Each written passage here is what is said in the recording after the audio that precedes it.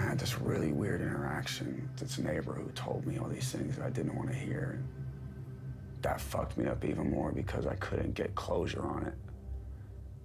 I wouldn't leave my room and I started getting really, really, really dark. Like, Megan went to Bulgaria to shoot a movie. I started getting this really wild paranoia. Like, I kept getting paranoid that someone was gonna come and kill me. And there was this, I would always sleep with this shotgun next to my bed.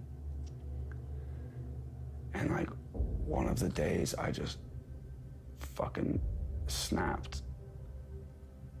I called Megan and I was like, "You weren't here for me." Like, I'm in my room and I'm like freaking out on her. And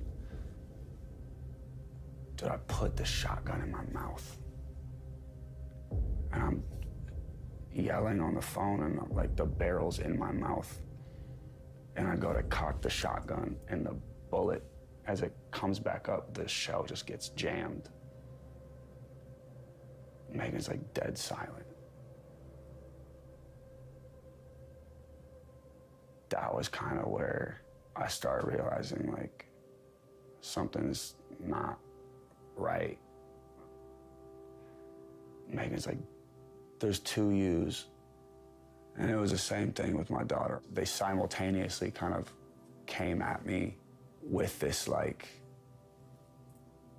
I want to like be able to see in your eyes.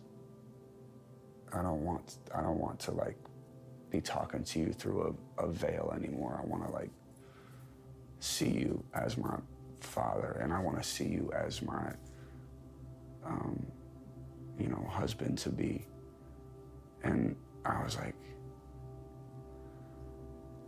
I need to kick I need to kick the drugs for real this time.